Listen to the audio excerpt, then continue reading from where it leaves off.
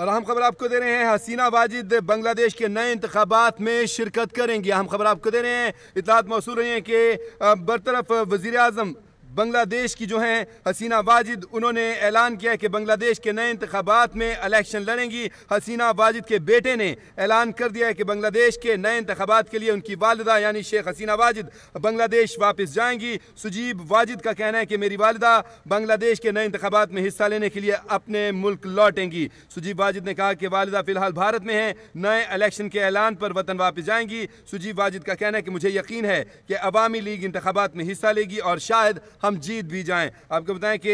इससे कुछ दिन पहले सुजीब वाजिद ने ऐलान किया था कि शेख हसीना वाजिद अब मायूस हैं वो सियासत में वापस नहीं आएंगी ताहम आपको बताएं कि हसीना वाजिद के बेटे ने एक बार फिर ऐलान कर दिया है कि बांग्लादेश के नए होने वाले इंतबात में शेख हसीना वाजिद भरपूर तरीके से इलेक्शन में हिस्सा लेंगी इलेक्शन लड़ेंगी वो वतन वापस लौटेंगी